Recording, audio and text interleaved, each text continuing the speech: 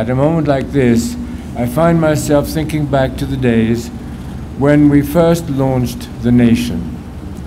That was more than half a century ago. It's hard to believe sometimes that it has been that long. And frankly, it is even harder to believe that so much time has passed since my childhood days here in Kenya and my continuing early visits to this country. When I think back to the founding of the nation, and when I reflect on how much has changed and how far we have come, I think especially about the hopes and the dreams with which we launched this company. Our goal then was to create a news medium that belonged to the whole of the nation of Kenya. And that, of course, is why we chose our company name. That dream moved ahead in a big way when we took the company to the public shareholding market, so that today a majority of the nation's shares are owned by the general public of Kenya. Our additional central goal at the time of our founding was to create a news medium that would be truly independent, a place where the public could find a voice it could trust, an objective and thoughtful voice, a voice that would tell people what the facts are as reliably as possible. Our goal was not to tell people what to think, but to give them reliable information so that they could think more clearly for themselves. All over the world, the number of media voices is exploding. Websites, bloggers, and social media voices multiply every day. The result is often a wild mix of messages good information, bad information, superficial impressions, fleeting images, and a good deal of confusion and conflict. And this is true all over the world. On top of that, this is also a time when public emotions and political sentiments are intensifying and even polarizing, again, all over the world. The result, some people say, is that we live in a post fact society yes, a post fact society. It's not just that everyone feels entitled to his or her own opinion. That's a good thing. But the problem comes when people feel that they are entitled to their own facts. What is true too often can then depend not on what actually happened, but on whose side you are. Our search for the truth can then become less important than our allegiance to a cause, an ideology, for example, or a political party, or a tribal or religious identity, or a pro government or opposition outlook. And so, publics all over the world can begin to fragment, and societies can drift into deadlock. In such a world, it is absolutely critical more than ever that the public should have somewhere to turn for reliable, balanced, objective, and accurate information as best as it can be discovered. No one, including the Nation Media Group, will ever be able to do that perfectly. But it is crit critically important that all of us should try.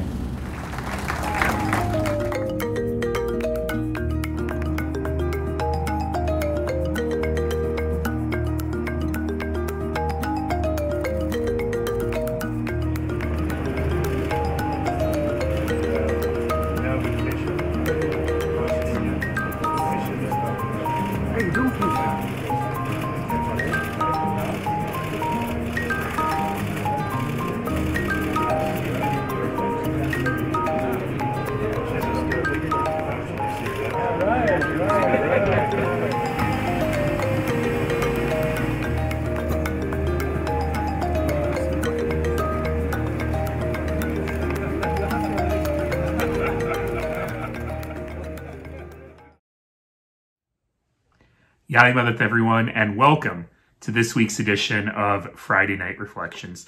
Bienvenue tout le monde. Ça me fait grand plaisir d'être parmi vous encore ce soir pour les réflexions de vendredi soir. I'm Naheed Nenshi, Mayor of Calgary. I've just celebrated my 10th year as mayor, but much more important than that, I'm celebrating my second appearance on Friday Night Reflections. And after the last one, yeah, I'm surprised they invited me back, but here we are. I'm coming to you from my fully equipped home studio here in Calgary on the land of the Treaty 7 peoples, Niitsitapi, the people. We call them the people of the Blackfoot Confederacy now, as well as the mountain people, the Ahe Nakoda, the Stoney people, the Beaver people, whom we call the Tsuut'ina people. And we honor today the Métis people with their deep connection to this land. So I'm here in my fully equipped home studio, which is also called my dining room because of course no Ismaili family in my generation actually eats in the dining room, so I may as well use it for something. And as long as I don't knock over that vase, I think we're going to be okay. Grab your chai, grab your nasta, and let's talk about this week's Friday Night Reflections. Before we get into the topic for this week, I do want to talk a little bit about the coronavirus and about the COVID 19 epidemic. It's been nine months that we have been living this very different life. For many of us, it's been a time of isolation. For many of us, it's been a time of fear. I know for some of us, including me and my family, the reopening of Jamaat Khana was a remarkable blessing uh, for those times that we are able to go. But ultimately, we're living a very different kind of life. And it's okay to feel bad about it. It's okay to mourn the things that we've lost. It's okay to feel sad. That's just human. But what we also have to remember is that we've got more work to do together. We're not there yet. And even while the recent uh, announcement that a vaccine may be close means we can see the other end of the river from the bridge, we got to stay on the bridge. It does us no good if we fall into the water. And so I know that people across Canada are facing different government policies and different restrictions, but I need to say something for all of us which is that when we have a different kind of natural disaster, when we have a flood or a fire, there's nothing we can do. No single one of us can control the rain or the fire. But in a pandemic, the spread of the pandemic is in our own hands. It's in our own clean hands. So I need to remind everyone that discipline is the best vaccine. And we need to continue to be disciplined. That means wash your hands, cover your cough, do all the good hygiene. It means keep your physical distance, six feet or two meters, or if you're in Calgary, 36 mini donuts between you and people, particularly those you don't know. It means wear a mask. Wear a mask anytime you're in public, anytime you're going to be within that six feet or two meters of others. And I'm going to add two more things. The next one is get your flu shot. The flu has nothing to do with COVID, but if you get your flu shot, it means you're less likely to get the influenza and you're less likely to need medical care and overwhelm the health system in its busiest time of the year. And the other is it's time to collapse your bubble. It's time to think hard on every single decision that you make. Is this the right thing to do? Do I have to do this now? Here in Alberta, the Premier has been very clear if that person doesn't live in your home, they shouldn't be in your home. We need to keep our cohort small. We need to make sure that we're doing everything we can to avoid risky behavior so that those who need to go to work, those who are providing essential services, who can't work from home, have the ability to do that. We need to be able to work hard so that in the areas where the schools are open, we can keep the schools open for our students. So for many months, I've been saying the same thing, and I'm just going to say it again. It's about clean hands. It's about good hygiene. It's about clear heads. It's about thinking about every single decision that we make with a COVID lens. And it's about open hearts. It's about kindness and compassion and looking after one another every single day. Because we'll get through this the way we get through everything here on this land. We'll get through this together. I am very excited about tonight's theme. Tonight's theme is Fact and Fiction The Role of Media in Democracy. Now, one of the reasons I'm excited about this is because I get to moderate a panel of journalists and also Zain. We'll get to that. Usually I'm on the other end of the questions. Usually I'm the one being asked the tough questions. So let's see how I do the other way around. This is a really important issue for all of us to think about in our communities right now. Certainly, many of us have been glued to the screen uh, in terms of the United States election. Is Arizona called? Is Arizona not called? Where is this going to go? What happens after the election? What happens when someone doesn't concede? But there's something much deeper than that in terms of the conversation that we're having together as a community. How is it that media institutions that have come together to tell our stories, to help us move forward as a community, You're now being derided as fake news? People don't trust them. People look to social media or people live in a post fact world uh, to determine their opinions. And how does that happen? And what is the role of our community in making sure that we're strengthening our democracy? What is the role of media in making sure that we're strengthening our democracy? So, the main stage today, we have an incredible panel. And I know you, like me, feel an enormous sense of pride when we see people like our next guests on television talking about important issues, when we see people that look like us, that belong to the Ismaili community out there representing us. It makes us all feel very proud. And I am so proud of the panel that we have brought together today. Two of the most esteemed journalists in North America, and also Zain. So tonight we get to hear from Ali Velshi. You know, Ali Velshi is a Canadian based in New York City. He has worked at CNN. He had his own show on Al Jazeera America. He started as a business reporter. And of course, since 2016, he's been one of the main anchors on MSNBC. And you'll have seen a lot of him lately. And he's got some harrowing stories about what it means to be a journalist in a time of fake news.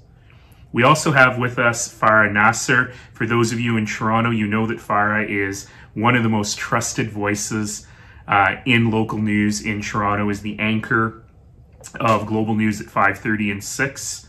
She's covered elections at every level. She moderated, this strikes me with fear, she moderated the only mayoral debate uh, in the Toronto mayoral election in 2018. She's covered the Toronto van attack, the G20 summit, the Toronto 18 terror trials. She's a back to back winner of the RTNDA Sam Ross Award, and her reporting in particular on issues of diversity, inclusion, and racism has been extraordinary. So I'm so excited to have Ali and Farah with us today. We also have today, inexplicably, Zain Velji. We don't know why he's here. He's hosted Friday Night Reflections before, he's just kind of showed up. Uh, he's not a journalist, but you do see him on TV all the time in all seriousness, Zain is an extraordinary community leader here in Calgary. I'm proud to call him a very good friend. Our friendship, obviously, is entirely based on making bad jokes about one another. Uh, he was a member of the top 40 under 40. Professionally, he's a partner at a strategy and marketing firm called Northweather that does extraordinary work for charities, nonprofits, causes, and advocacy. And if you're a podcast fan, you'll know that Zain is the host of one of the highest rated podcasts uh, in Canada, The Strategists, as well as its spin off where Canadians get to talk to Americans about their lives called You, the People. And just this year, he was named the University of Alberta with the University of Alberta's Alumni Horizon Award. So, with that, let's go to the panel. So, thank you so much uh, for joining us today. Uh, two of North America's most prominent journalists in local, national, and international news, and also Zain, who I understand owns a television. So, I don't want this whole conversation to be about the United States election, but anyone who was watching television on election night and flipping between channels would have seen all three of you. And I thought that it might be fun to start with a little anecdote from there. And plus, I've got Ali Velshi here, so I have to ask him the question that everyone in North America wants the answer to. So we're going to start there, Ali. Did your colleague, Steve Kornacki, ever get to sleep? Um, I, I, made four attempts over over five days to get him to leave. I, I was marginally successful a couple of times. Uh, I got in, got him to leave. He didn't seem convinced that he was leaving. I think I stayed on TV for two or two and a half hours, and he just came back, and he looked exactly the same. As you know, he wore the same clothes uh, for several days. He's just retired his tie. uh, now, and it's it's all ripped up and damaged. But um, he he slept, I think, four hours or five hours over five days. Wow. And I thought rest of us were staying up late. Why don't I go to yeah. each of you and we'll start with you, Ali. Just give us your favorite anecdote from that long, long election night uh, and tell us a good story. Go ahead, Ali. You're kidding me, right? There are no favorite anecdotes. Uh, this is this is an extension of a, of a long nightmare for us. Uh, it, it, you know, I started. One thing I did, I, I relieve when I can Steve Kornacki at the at the big board. Um, there are only a few of us who have trained on it, but I actually wanted to be out there. I've spent most of the last few months uh, in different places in America, mostly in swing states, and I, I, I ended it up in Philadelphia. And We planned this months ago, uh, where would I finally be? Where, what, where would I be on the last weekend of the election? Where would I be on election night? And I was in the streets of Philadelphia. And whatever ends up happening with this, and, and however it goes, uh, and, and there are lots of issues to discuss about misinformation and, and, and the anger, uh, the visceral anger in America, 150 million people almost voted. Uh, so, you know, at least you're starting with the idea that people had enough uh, civic responsibility to go to the ballots and vote. Uh, whether they were doing it on bad information is a secondary issue, and we need to deal with that. But being in Philadelphia and watching the record setting voting through the course of the day, for a lot of people who told me it was their first election uh, and they were much older than voting age, um, they were out there, they felt they had a role in the future of America. And regarding, you know, regardless of the outcome of the election, it was great to actually see that level of participation. Typically in America, we see about 55%. We probably hit about 65% this time. It's amazing. Farah, what about you? Covering it in a very different way from a Canadian perspective. What was your favorite part of the night or your most interesting anecdote? Yeah, I mean, unlike uh, Ali, the the this is my first U.S. election covering it from Washington D.C. So uh, it was it was unforgettable. It was incredible. But I think the thing that I'm going to remember the most is actually not election night. It is Saturday morning when the result uh, was called, and it's because. I got to DC about a week earlier and it was so sleepy and you could just really feel the anxiety and people were just anxious. And there was this uncertainty. And then it's like the entire capital of the United States changed in, in, in an hour. It was like a different place. There was so much energy uh, there was really this feeling like everybody was just kind of breathing this like sigh of relief and just exhaling for the first time in a long time. And people were popping champagne, they were dancing in the streets, they were singing. Um, and just seeing that shift is, is something I'm never going to forget. It was, it was unbelievable. Amazing. Now, I was busy in a city council meeting all evening, and so I was relying on massively refreshing uh, your websites and occasional texts from Zain, uh, who was busy doing commentary that night as well. And when I finally got home, I heard Zain say one of the most thoughtful things I've heard any commentator say uh, that evening about the nature of the referendum that we were witnessing. So, Zain, tell us your favorite anecdote and give us the line about the referendum. Well, well, thank you, Naheed. And I just want to clarify uh, for for uh, members listening at home.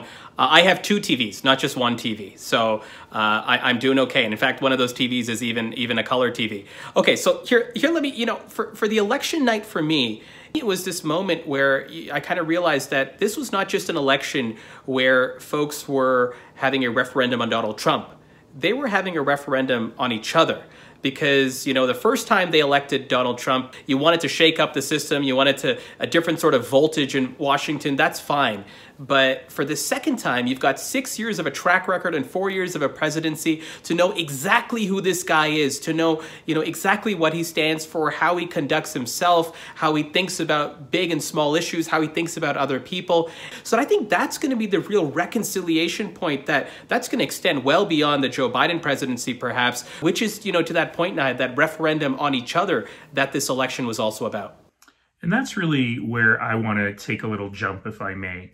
You know, we've got with us some incredibly accomplished people, and I know as an Ismaili community, we're also very proud of you, and we feel a little bit of pride uh, when we see you on the air telling these important stories. But we live in a strange media world. So I just celebrated my 10th anniversary as the mayor of Calgary, believe it or not. And when I started in those in the first year, I had a full press gallery they sit in windows, uh, in little offices with windows that overlook the council chamber.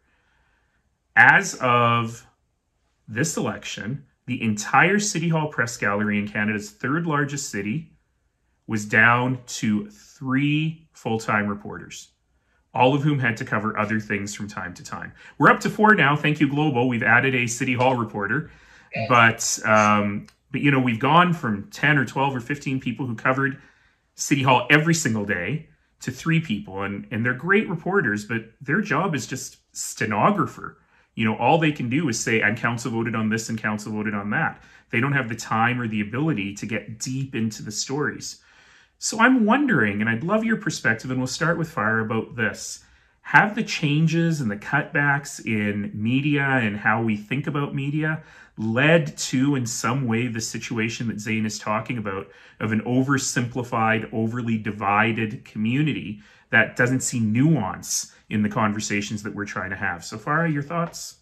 I, am really glad you brought that up because I think this the idea of news deserts is real. There are areas now in this country that don't have coverage, that don't have any news coverage at all. So that, first of all, is problematic. We know what an important facet of democracy media is. I mean, and Walter Cronkite said it is democracy. So that in itself is really important. We've also at the same time noticed, Naheed, maybe you're answering questions at your press conference, but you know, here in Ontario, uh, you're on a phone line trying to get information from a politician and you're waiting on hold for several hours before you can even get an answer. And then you're not even really, it's not the same being in person to kind of hold people accountable and, and, and get that response. So I think that in itself uh, is a really different way of covering the news, right, than we're used to. Um, so I think that that is one way that, that I think things have changed. We're doing a lot more with a lot less. News is lean. Um, and, and there isn't the money that there was in it before. So that's why you're not seeing in the third largest, the third largest city. It's not just COVID. It's just how things have, have changed. And that, that's a real shift in how we've, we've seen the media previously. Now in the States, of course, it's a different story because it is so polarized. I was there and, uh, for the first time, uh, Ali, I spent, you'll be interested in this, I spent, you know, however many days, all I was doing, because I couldn't go out and, and, do too many reports. I did a few, but I, I, just sat there and I just flipped between Fox, between CNN, between Ali and MSNBC, and it it just it, it, felt like there was two different worlds. It felt like this was a country, but there was two countries in this one country. Right. And I think that's what's led to a lot of this. I think that the news also should bear some responsibility for, for the, the way things are right now. It really is a chicken and an egg situation. Where did it start and where do we go from here? Ali, you've spoken a lot about this. I encourage people yeah. to seek out your 2017 TEDx talk. But give us a, give us a synopsis of your thoughts on the media and its role in this divided. Well, I think there are two issues. One is, you know, the tagline on the Washington Post says democracy dies in darkness. And what you described at Calgary City Council is it getting darker. The lights are, are, are getting, uh, they're not as bright on you. And that's when things can start to go wrong. Uh, we have in the United States this problem uh, in multiples. We have a lot of local, not just news deserts, we have places where people think they've got lo- local news because there's still a local newspaper or a local newscast, but it's not from their city. It's not, it's not from their town. It's all aggregated information from these news conglomerates. Um, so when I said that we had a 55% average turnout for presidential elections, that's presidential elections. Uh, if they're only state elections or, or uh, House of Representative elections, the turnout is lower. If it's local elections, the turnout is yet lower. And yet that's where everything matters. So what we've done is we've, we've you know, it used to be that people would be in, in local government and then they would, would go to other parts of government, but they had the experience of dealing with people who needed their crime dealt with and their ambulances and their garbage and stuff like that. And you would have robust policy discussions around that or education. Well, now we don't have robust policy discussions around policy issues. If you followed American media for the last four years, it is very high level um, stuff that doesn't necessarily affect individuals. And then suddenly you have something like George Floyd or the, the police brutality issues that we face in the last six months. And that becomes very real to people. Then it's about policing and then it's about local stuff. But you realize, as we did with Ferguson, Missouri six years ago, that Two thirds of the population of Ferguson was African American, but there was only one member of the five member city council and only one African American police officer because people don't pay attention to what's going on locally. And part of that is because we don't cover what's going on locally. So unless you're kind of nerdy and into local politics, you don't, you don't follow that stuff. And you're in the third largest city in Canada. So imagine what happens in littler towns, uh, which, which America is made of. So I think there are two issues. We don't have the commitment to news on that level. We don't have a commitment to policy discussion discussions on that level. And then the things that Farah talks about, in that this is not the world's most lucrative thing for a lot of people to get into. So, uh, you know, it just becomes easier to sit at your desk. And so many journalists now are just desk jockeys, right? They've got a computer, they sit where they are, and they churn out stories, much of which is opinion or, or based on some phone calls. It, it, it does, it is the dimming of the lights on democracy. And I think we have to take it very seriously.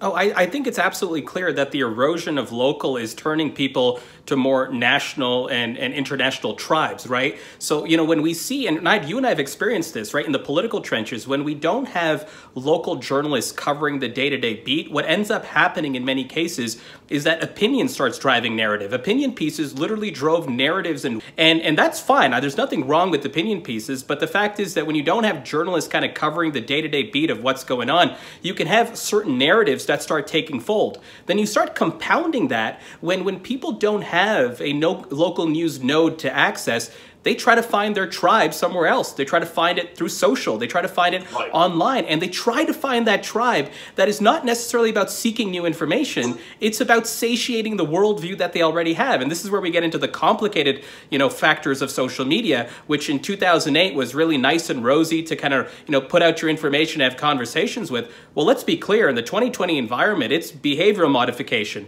And, and that's what we're ultimately finding is that people start getting into narrower and narrower silos which increase the fractures more and more that present themselves. So the ripple effects or the butterfly effects of not having local, which then gets driven by narrative, which then tries to get you to find more of that particular narrative online and then find a tribe, is the path we've seen millions upon millions of people go down, which is potentially one of the you know hypotheses of the, of the political fracturing we've seen on both sides of our collective borders.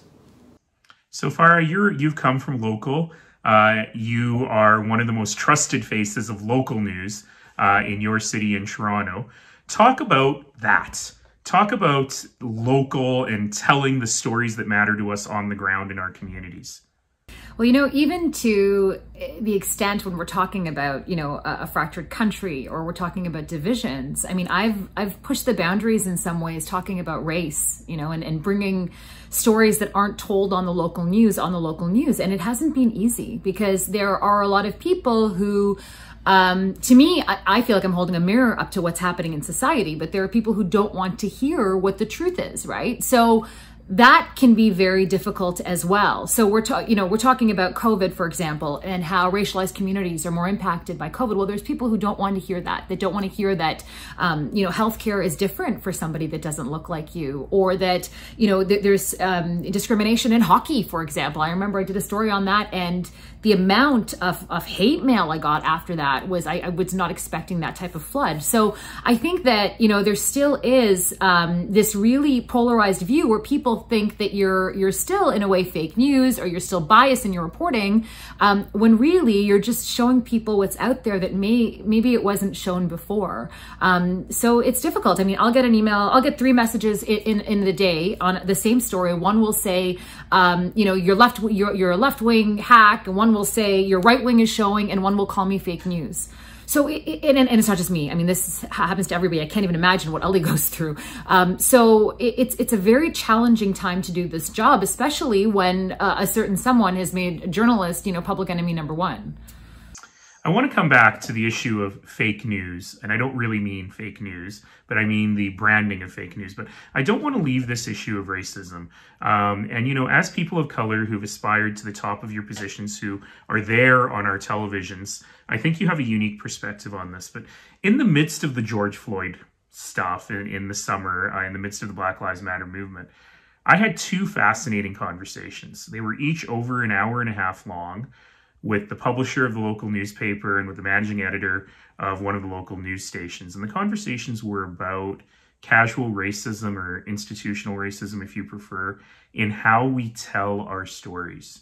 So for Remembrance Day, for example, uh, on the CBC, there was a story about um, a U.S. war veteran who was doing a nice thing, cycling to all the war monuments in Calgary on Remembrance Day. And in the very first line, they said, a proud Sikh and a soldier. And I thought to myself, well, his name is Singh and he wears a turban. People can probably connect the dots. What does his being a Sikh have to do with it? And it was just one example of the kinds of deconstructionist narratives, if I can sound all academic for a moment, that we have to think about in terms of how we tell stories. And Farah, you, you've really been a trailblazer in this, uh, in so many ways, helping people see, especially in a city as diverse as Toronto, their country in a new way. But what does that work like institutionally? Does the media understand that we've been telling stories of the powerful and we need to get off of the sort of the National Geographic 1950s special when we tell stories of people who don't look the same? Look, I will be honest. I think it took for all of this to happening to happen, this racial reckoning to take place, for things to change. I mean, I politely laughed at comments made five years ago that I would never laugh at now, that I would call people out, that I would have the courage to call people out on now. Um, and I think that says a lot. And but we have to remember that though you're watching television and you're seeing bylines that have names that are you know ethnic that you're comfortable with, most of the people that are still running everything don't come from there. It's going to take time though. I think things are changing. I'm very um, optimistic about the future. I mean, even when we started out, like Ali was the only one I could go to to to ask advice. There was nobody who looked like me on camera. I remember he was working on, on a business show, a business channel then, and it wasn't even I didn't even want to do business. So, but it was it was it was the only one. And now when we look at the amount of Ismailis that are out there that are, it, it is it gives me goosebumps just talking about it. So.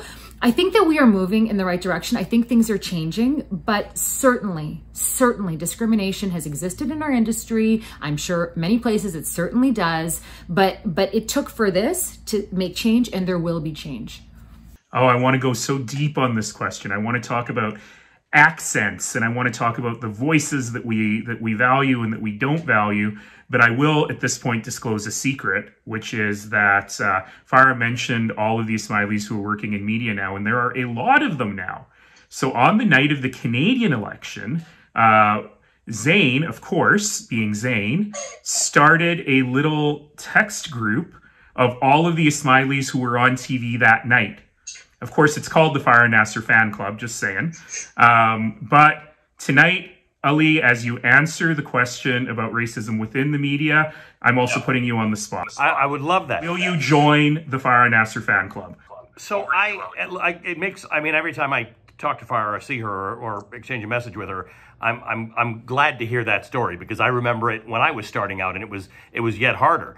Um, but I think representation is the answer on all of these fronts because we're talking about racism now, but um, casual homophobia, casual making jokes about people's weight. The Me Too movement indicated to people that, oh, you know, these jokes you've been making or those comments you've been passing on how someone's dressed, also not appropriate. So we all just have to have this open mind and say, there's so much out there we don't know, and we don't know because we didn't invite the people to the table to have the conversation. So now in newsrooms, if you have the representation, you just learn things you didn't know before. You learn what you don't say and what's inappropriate to people. I have said, I remember saying something about transgender transgenders, I think I said on TV, and I got all these things. They don't call people transgenders, you call them transgendered people or transgender people. It's like, okay, great. Now I know it. Now I will do it right. But the things that I have said in my past that I didn't know were even wrong because there was no one there to tell me that it was wrong, uh, now that all changes. And it, the, the decision you have to make now as journalists, as the consuming public, is what side of that do you want to be on? Do you want to sit there and say, huh, that's interesting. I didn't know how that worked. Thanks for telling me. Or let's discuss it. Or do you want to say, don't change my, my, my worldview, don't change my reality because that's not how I learned it, so it can't be true. So Zain, how do we get those stories into the media so the media feels more authentic to all of us? Yeah, and I mean, I think it starts, Naheed, with this conversation that, you know, and I think Ali and Farah are excellent examples of this, that people that look like us aren't just there to cover stories about people who just look like us. And I think that's one of the biggest mistakes that that I've kind of seen is just an assumption. You know, uh, when when we when our prime minister during the last federal election had a scandal, uh, the blackface brownface scandal that that was going on. I had 24 media appearances over the next two days, and I wasn't the only racialized or brown or black person that had those appearances. If you just walked by the hallway at the CBC or at CTV and you just looked up, there's probably a black or brown person commenting on what happened. And then guess what happened, Naheed? Two days later, the story went away, and all those people who provided excellent commentary just because they had a brown or black face were nowhere to be seen. They were excellent at, at providing commentary on so many things. They were educated professors. They had lived experience. They had, you know, so much texture and depth. But guess what? They were only brought in to comment because guess what? The face of that guy matched the face of you. And, and I think, you know, there, there, there is a real sort of opportunity here to, to do that. Per Farah's point of saying, how do we get more and more people, not just at the table, but controlling the decisions of the agenda gets that, that gets put on that table thank you so much uh, for that. I want to make sure that we get into another conversation here. Uh, and that really is that when you think back and you think of Walter Cronkite, as Farah has alluded to, or Lloyd Robertson, or Peter Mansbridge, notice these are all white men I'm talking about, but my point is that these were, okay, Barbara Walters, we'll throw a white woman in there. These are trusted voices, right? These are the voices that people turn to when they needed to know the truth. And now we live in a world where, frankly, I am scared for Farah and Ali when they're out on the street covering something because I don't know what people are going to say. They're going to talk about the fake news. First of all, I, would like a personal perspective on how does that make you feel as a journalist, as someone who's engaged in this work, whose passion is to tell these stories. But second of all, how did we get here? And how do we restore trust in our institutions, but particularly in the media, because I, for one, believe you can't have a healthy democracy without trust and faith in media. So Farah, I'll go to you first you know, I, I, wrote a lot of notes on this because I think I think we all have a role to play here. So uh, for government, I think it's supporting media. So as we've seen, we talked about this news deserts concept, the idea that you know some of these media organizations they need some help in certain areas, as you mentioned. I mean, it's it's a part of a healthy democracy. It benefits all of us. So that's a big thing. Citizens, get perspective learn from other people watch watch perspectives that are not your own i mean i spend most of my time in the united states actually watching fox news to try to understand how people feel a perspective that we don't normally get in canada and also we need to educate our kids. Media literacy is so important. We need to teach our kids what fake news is, what misinformation is. And as journalists, we need to do a better idea. And this is for the next generation, but also for our viewers to really teach them what the difference is between a pundit, between a journalist, between a commentator, because these are key differences. When you're watching the news and you're watching CNN late at night or you're watching it during the day, it's very different. Um, and I think people don't really understand that. I think that's being lost on a lot of people. Just like when you're flipping the newspaper and you see the editorial. I don't know if the general public and especially our, our young, uh, our youngsters, if they really understand what the difference is. And I think it is so important to point that out. Um, and I think it's also news organizations, we have to go back to our core values. I mean, our, our, core values, this this idea of, you know, transparency, integrity, these these best practices that we we grew up with. Because I think in some cases we've gone away from that. And so I think there's really, again, a, a role to play for everybody. Um, and there's a lot of work to do. Ali, I've read everywhere that you do fake news. Tell me about fake news. Well, it became a real problem because uh, in May, you know, I was in, in Minneapolis covering uh, the George Floyd protests, and at one point, I was I was you know I got gas masked I got gassed a few times. I, I actually travel now with a, a kit that has a, a bulletproof vest, uh, a mask, and a helmet.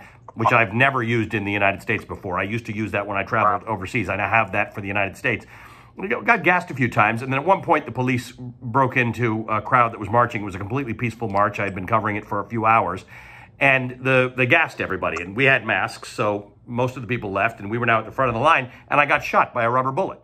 Now, I don't know what happened that night. I'm not really clear on it, uh, and one day we'll have time to have a proper investigation. We were very clearly media, and we got shot. Then we retreated and we came to another intersection where there were no people anymore because all the civilians had left because they were gas masking everybody, gassing everybody. So we were walking now trying to get out. And we actually put our hands up and said, we're media. And the police said, we don't care. And they fired again. Nobody got hit that time because they're just bad shots. So, you know, Farah's talking about government support, um, I'd take, I'd take not government antagonism at this point. Uh, it's unsafe. Now, I mean, I've done nothing but travel for the last three or four months and we have travel security. Uh, we get threats. Uh, this is, uh, as far as I said, when she met me, I was a business reporter, man. I did the stock market. What's with the threats? Where did, nobody signed up for this stuff.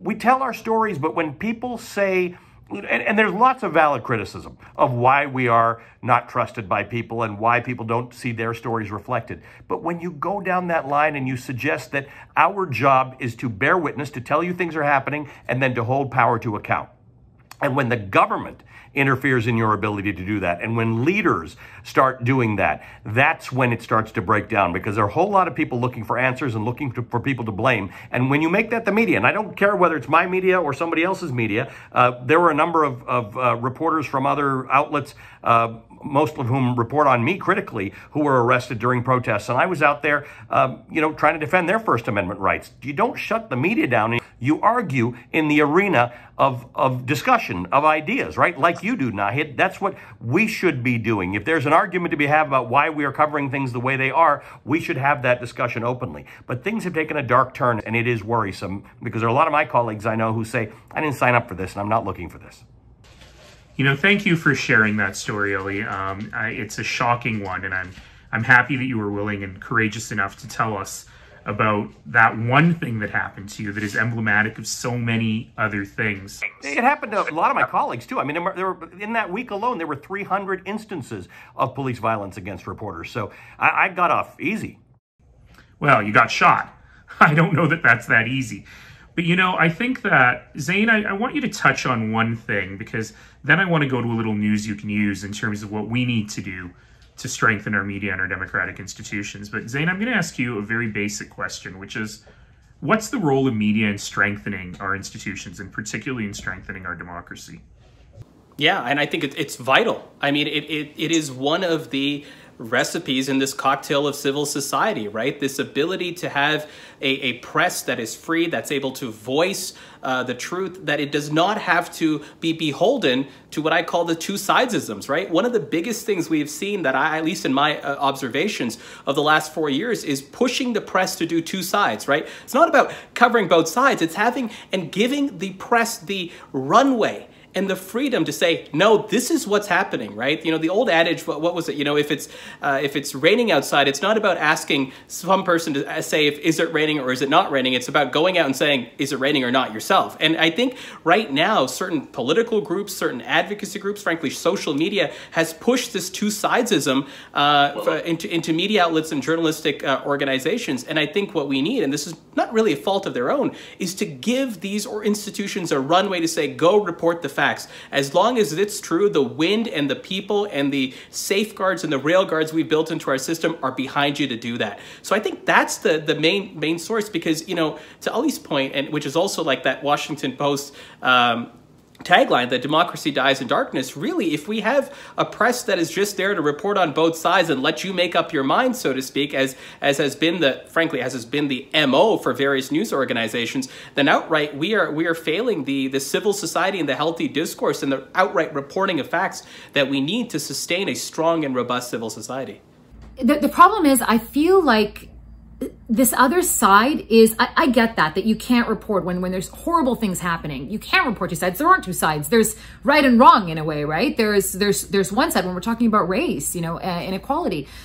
But when i'm watching you know correspondents or people like almost ridiculing like ridiculing the other side i don't know what purpose that serves. I think if it's based on facts and evidence that's one thing but we are so divided right now. There needs to be a way to tell the stories that, that bring people together. Those beautiful moments where you hear that, you know, somebody who's, you know, a, a gun advocate is hugging somebody who's from Black Lives Matter. There, there has to be ways to tell those stories and bring people together. Um, because again, and when I was watching cable news, it was, it was making fun of that other side. When Hillary Clinton called, called a, a bunch of blue collar workers deplorables and then lost the election, there was a reason. You, you alienate people. And that's that's not what we need right now. Ali, you've got a very unique perspective on this, given the variety of different media outlets you've worked in, and you find yeah. yourself now, of course, at MSNBC, which has a particular uh, point of view, shall we say, or worldview. How do we reconcile these things? How do we reconcile the need to be fair and just in our reporting and our storytelling with the need to really call out bad things yeah. when they happen. So I think uh, there's a bit of oh, each of Farah and Zain's uh, views on this that I that I think have to combine to to make sense. To, to Zain's point, um, we need we need freedom to to tell the stories as they are. And that comes from resources. The only way you bear witness is if you can actually fly someone to the border and look at those cages and tell you what's actually going on and interview people and follow their stories and do all that kind of stuff. And if you're just doing stuff from your desk and your computer, that's not going to get told. Um, on the other side, uh, Farah makes the point that do we signpost for people what's commentary and what's opinion and what's news coverage? And I think we, and you know, Naheed, from my uh, fake news speech, uh, my, my TEDx talk, that I, I feel that we've failed people for, for decades on that front. We don't signpost it, so people don't hear it. So I've spent the last two, three months out on the street talking to people, and I ask them, I go to different cities across America to ask people about their own personal experiences. What do I get? Bumper sticker, political stuff. I'm hearing from somebody on the streets of Kenosha, not about what happened in Kenosha last week that, that upset them, but I'm hearing something that Donald Trump said about it. I'm at the border, at the border wall in Arizona talking to locals, and I'm hearing politicized polemic. And that's what the problem is, that, that the combination of not having local news, the idea that people don't form their own opinions on what happens around them, but they fall into these support groups on social media and in cable news, all contributes to the idea that if I take the runway that Zain says I deserve, which I will take every night, I take it and I lose half the viewers who don't want to share that, who want their warm milk. They will go somewhere else, and they do go somewhere else. And I, I struggle with that. I wonder about that a lot. I'm 30 years into this career, and I, I wonder how we fix it, and I, and I worry about what I've done to spoil it. You know, folks, I'm going to reveal a Friday Night Reflections production secret right now, which is we are filming this in a tight window of time when Zara has just, or Farah, excuse me, has just come off the air and when Ali is about to go on the air. Uh, so we don't have a ton of time, though. I think this could go on all night. This is amazing. My heart is racing with the intellectual things that are happening uh, in this panel right now. But let's end on some news you can use, if you like, which is I'm going to ask each of you in turn, starting with Farah, what do we as citizens do? How can we as citizens build our communities and our democracy? And how can the media play a role in that? But what can we do to support that kind of media that is community building? We'll start with Farah. I think with citizenry, it, it's, it comes down to listening to the other perspective. It's going to be uncomfortable. It's not what you're going to want to hear. You're going to want to yell at the TV, but you need to know that this is how people feel. Why do they feel isolated? Why do they not want to wear masks because of COVID? Maybe they're worried about their business. Maybe they don't want to eh, think it exists because they're losing money and they're bankrupt. Like there is, there's always other reasons why people feel the way that they, they do. And I think it's important for all of us to really have empathy and understand. We are not going to agree with it, but it's important to understand where things come from. So that's one area. And I think, I mean, I'm a mom, I have two little kids. I, I think it is so crucial that we really educate this next generation. I'm very passionate about this idea of media literacy and explaining to them how things work. And as you're watching, I mean, point that out. Point that out to your, your teenage kids about, about who this person's giving their opinion. This is facts what, what the difference is between those two. I've already te started teaching my seven-year-old about the difference between fact and opinion.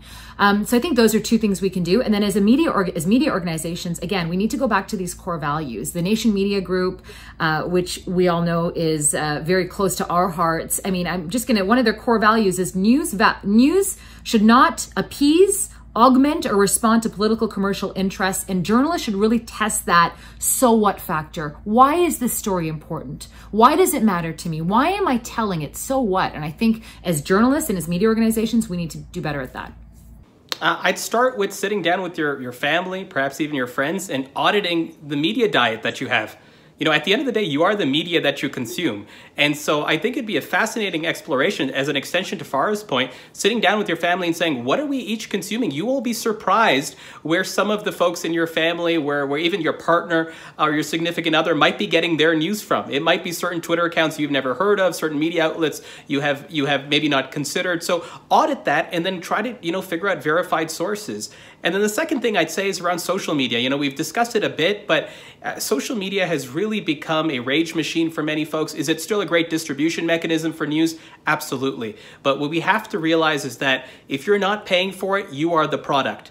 And what these platforms have figured out is that by putting anger and rage into the zeitgeist, into of micro cuts of fake news, that that which by the way is not easy to discern. That's one of the things we should talk about is that fake news online is really, really hard to discern. But go with verified sources and understand that everything on social media that you see, especially with products that you're not paying for, you are being commoditized on and, and to uh, and to recognize that. Ali Velshi, last word to you, but as, as I ask you that, I know that the audience will abandon us and go for their warm milk if I don't ask you from your vantage point, what's going to happen in the United States? How are we going to get out of this crazy situation we're in? So talk to us about what citizens can do and give well, us your opinion on that. Uh, December 13th, the Electoral College is going to vote for the next president of the United States. And uh, with some luck, all of this stuff that's going on right now will be over by then. Um, so, so I'm very worried about what this portends for American democracy. But to the to the point about how to news you can use, think about your cell phone, right? The the way the cell phone figures out where you are uh, and which tar- which tower to use is it, it's always got to have three towers. It triangulates where you are. If you have three points in space, you always know where you are. So triangulate your information the same way. When you see something, make sure you can find it somewhere else. So the guy who went to that suburban DC pizza parlor because he thought that uh, Hillary Clinton was running a pedophilia ring in it. He went with a gun, and he actually thought he was going to save little children. He thought he was doing something good because he had bad information. Now, just make sure before you, and that's an extreme example because generally people don't respond to the news by taking a gun and going to do something, but we all respond to the news somehow in our conversations or in our voting. So try and find the information somewhere else, even if it's from a different perspective. If you at least understand that two different people are reporting on this from two different organizations, from two different perspectives, at least the story, the underlying story might be true. I don't know that social media is compatible with democracy. I really worry about uh, whether in the end it has really removed us uh, from reality. I remember when the internet started, because uh, I was just starting as a reporter at the time. And when you know when it became popularized and cell phones were started, and we would get uh, browsers on our computers at work, I remember thinking, no one will ever be able to lie again. This is the best thing that ever happened. Social media came out. If you tell a lie, they're all going to tell. They're all going to call you out for it, and that's it. I had no idea. I was so naive. I had no idea that you'd be able to lie better and louder and faster and, and, and more effectively than you ever could before. So I think we all have to, we can't fix society. We can fix our own consumption habits. Just like your cell phone, triangulate your information and at least know that what you're consuming is true, then formulate an opinion on it. Thanks so much, Ali. I said that would be the last word, but man, that was amazing. So I do want to give Farah and Zain one last chance for any final words. First to you, Zain. No, I'm good. Thank you for this for this excellent conversation. You know, I think we we find an, an, a very interesting space we're in right now, and I think you know it's it's with the leadership of folks like Farah and Ali who are not just pushing the stories that matter, but pushing the editorial decisions that matter to get us the stories, to unearth those stories uh, that makes our democracy and civil society richer. So, thank you for the incredible conversation. I just want to kind of go over the point about social media because I think that's where a lot of people get their news. And I think what, what uh, Zain said is so correct. I mean, if you're not paying for news, you're the product. And, yep. you know, we are we're in this place where we just need like this, you know, uh, as Ram calls it, ne- Nescafe journalism, right? We just need this hit. We just need to know what's going on, but but really dig deeper. And if anybody watching is part of a social media company, take some responsibility.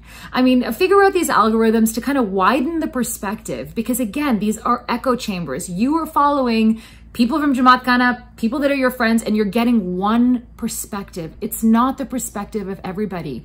And keep that in mind as you're reading this. Have that, have that knowledge as you're as you're going through social media.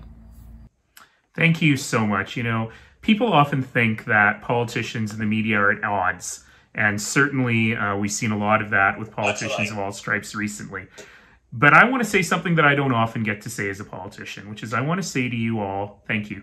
Thank you for the work you do. Thank you for shining a light in a very dark and cold world sometimes, uh, and for continuing to tell the stories that connect people to their communities, because ultimately that is what builds us together as a community. So, Farah Nasser, Ali Velshi, Zain Velji, thank you so much for spending your time today. Thank you for giving people who thought they were going to have a nice, quiet reflection with their Chai and Nankatai a huge amount of things to think about. And thank you for the work you do every single day. Wow, that was so great. My brain is racing and my heart is racing. What a tremendous panel. And thank you again to the panelists uh, for joining us for that magnificent conversation. Did you note, though, that Ali Velshi never did answer my direct question about the Farah Nasser fan club? I hope you had a chance to catch the pre-show tonight. Uh, you know, I know that all of us feel such pride when we see Ismaili journalists covering the news, and there was a great montage of members of the Jamaat who've been working in journalism. Uh, and I know that we are proud of every single one of them and the work that they do representing the community and telling our stories. So, as always, it wouldn't be Friday Night Reflections without a great musical expression. And we're going to go to that right now to lift our spirits. In the meantime, stay safe, stay healthy, clean hands, clear heads, open hearts. See you next Friday on Friday Night Reflections. À la prochaine. Ali Mola Ali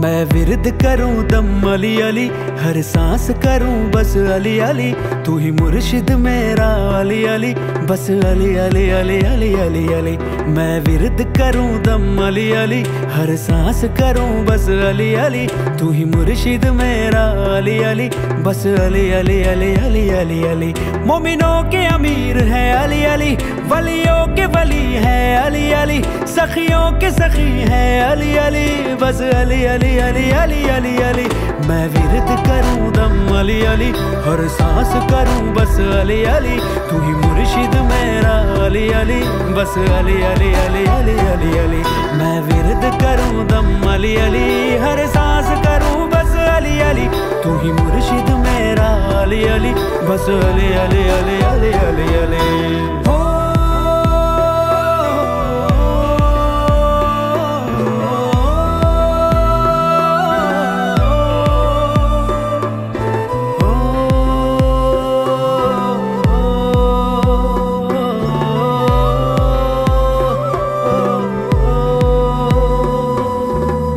मस्ती में मैं तो तेरी झूमता रहूँ। गली गली अब तो मैं घूमता रहूँ। इश्क की मंजिल चढ़ता रहूँ। ओ, ओ, ओ, ओ, ओ, ओ, दम अली अली हर सांस करूँ बस अली अली तू ही मुर्शिद मेरा अली अली बस अली अली अली अली अली अली मैं विरद करूँ दम अली अली हर सांस करूँ बस अली अली तू ही मुर्शिद मेरा अली अली बस अली अली अली अली अली अली मुश्किल कुशा है अली अली शेरे खुदा है अली अली लाफता है अली अली बस अली अली अली अली अली अली मैं विरद करूँ दम अली अली हर सांस करूँ बस अली अली तू ही मुर्शिद मेरा अली अली बस अली अली अली अली अली अली मैं विरद करूँ दम अली अली हर सांस करूँ बस अली अली तू ही मुर्शिद मेरा अली अली बस अली अली अली अली अली अली